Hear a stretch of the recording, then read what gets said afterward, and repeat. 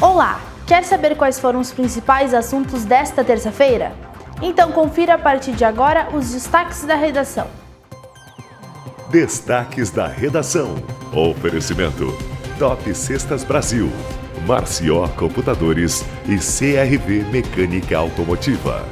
Chapecó registra quatro óbitos de pacientes com Covid-19 nesta terça-feira. São eles um homem de 56 anos, um idoso de 90 anos, um outro idoso de 77 anos e uma idosa de 88 anos. Todos estavam internados no Hospital Regional do Oeste.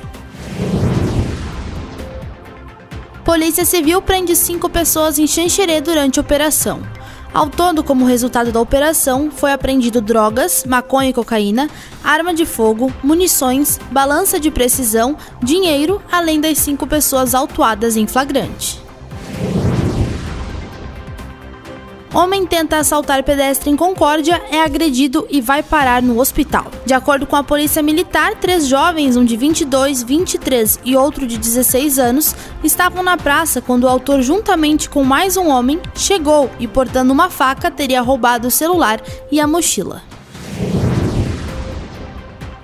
Confira os números do Covid-19 desta terça-feira em Xanxerê. Já são 1.903 casos confirmados desde o início da pandemia, com 1.815 destes recuperados e 24 óbitos registrados. Restam 64 casos ativos, com três desses internados, todos na UTI do Hospital Regional São Paulo. Acusado de assassinar João Ricardo Arno vai continuar recolhido no Presídio Regional de Concórdia.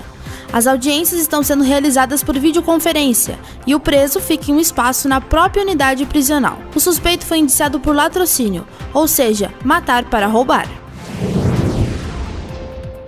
Estes foram os nossos destaques da redação. Para saber mais detalhes, acesse canalideal.com.br. Destaques da redação. Oferecimento: Top Cestas Brasil. Marció Computadores e CRV Mecânica Automotiva.